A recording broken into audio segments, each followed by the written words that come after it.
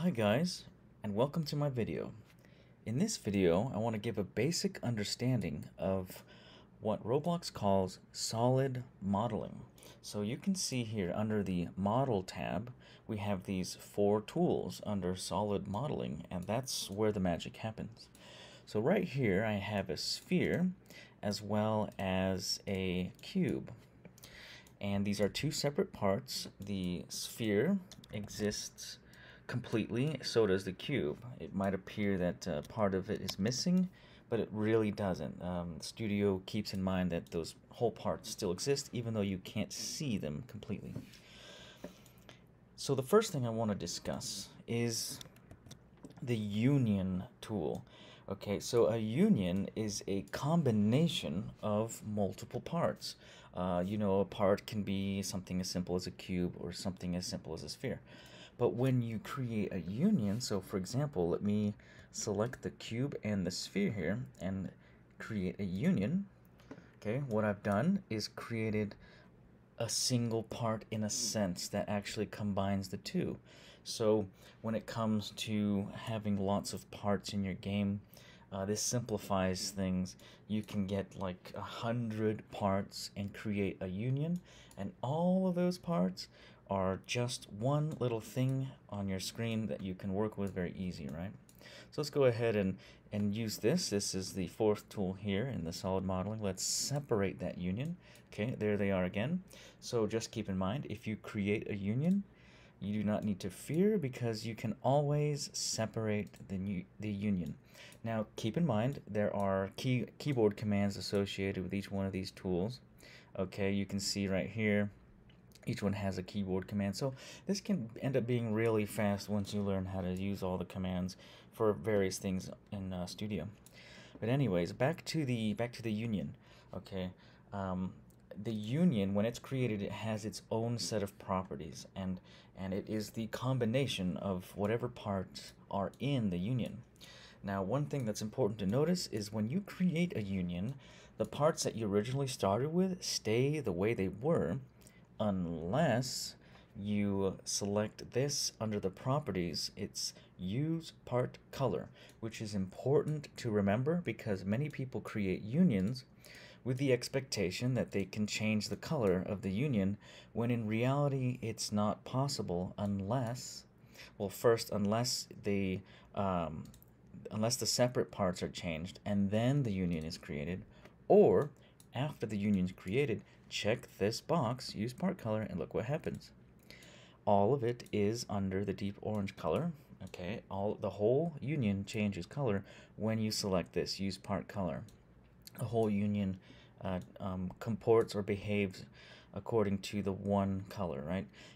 You turn that off and you get the original colors you started off with. So that's very important to remember when working with unions that um, you can adjust the colors like that and uh, so let's move on to the next uh, tool here. This is a new tool. I have not seen this until recently. It's called Intersect. So um, what it does is you can see in this little image here, this little, uh, you know, this visual gives you an idea. You have two parts, just like I do. We have a sphere, we have a cube, all right? And in between, we have a little part that intersects, the part that where the two um, parts meet is the intersection. So um, if, if um, say for example, the, the sphere is inside of the cube, the part that you can't see is the intersection. So if I hit that button, just like magic, everything disappears except for what is what was inside, the, the parts that were touching, right? And as you can see, the various faces have different colors. You see that the the the, the uh, smooth or the flat sides that were what the cube was are the same color as the cube, which was red. The part that was associated with the sphere is that goldish color, right? Um, that's that's what you're what you have to consider when creating intersections.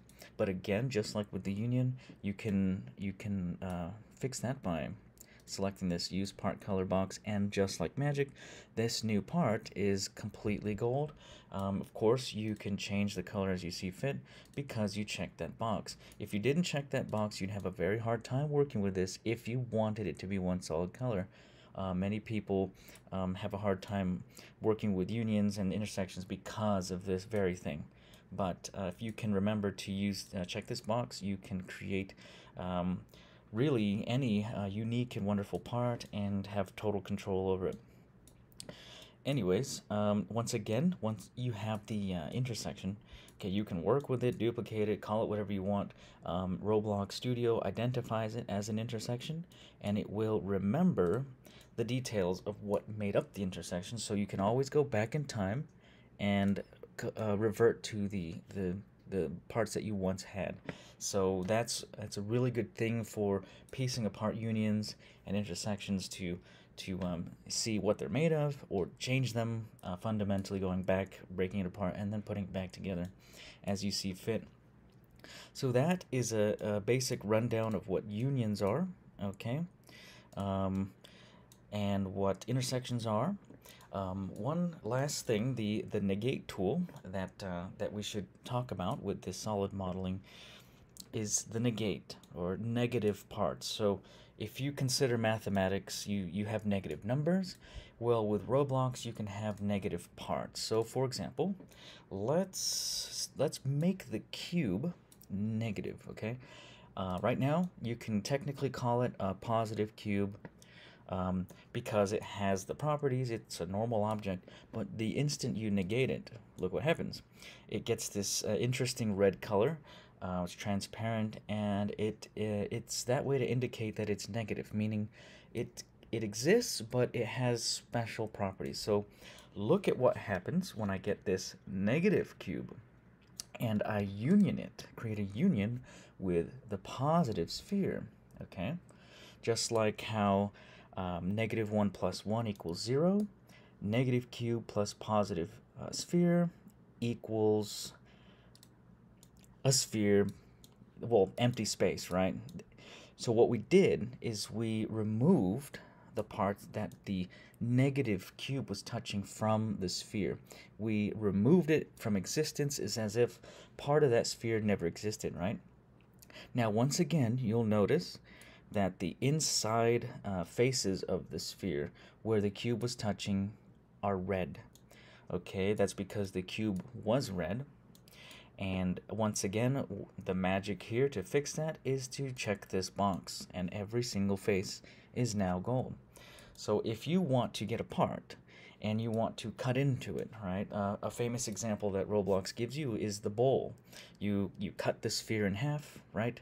and then you get a smaller sphere and, and, cut out of that half and you get a bowl using these negative parts. So let's, uh, once again, let's separate those. You'll see exactly what's happening. So you'll see that the cube, the negative cube, is doing all the magic. And, and that depending on what you're trying to create, you position those positive and negative parts the way you want them to be once you create that union, it, it um, joins it all together, it does the mathematics, and you end up with the end result, which is the union comprising of positive and negative parts. That's one of the most important um, uh, reasons or uses for a union, besides just simplifying things into one simple part to work with.